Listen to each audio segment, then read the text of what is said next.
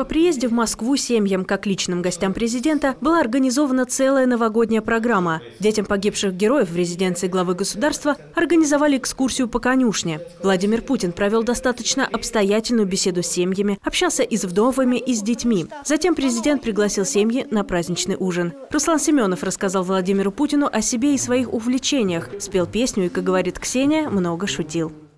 И Руслан сказал, что вот у нас есть тренер, он тоже Владимир, и у него есть кличка Владимир Владимирович.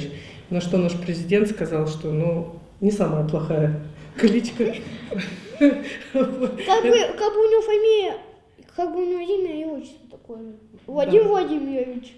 Да. Ну, да и... Жалко, что не, не, не назвали Путин. О теплой встрече с президентом Ксения и Руслан Семеновы рассказывают главе региона с трепетом. Оба остались под большим впечатлением. Для Руслана эта встреча уже вторая. До этого, в День народного единства, на церемонии возложения цветов к памятнику Минину и Пожарскому, мальчик спросил у главы государства, правда ли, что перед ним Владимир Путин. Этим юный табовчанин и запомнился президенту.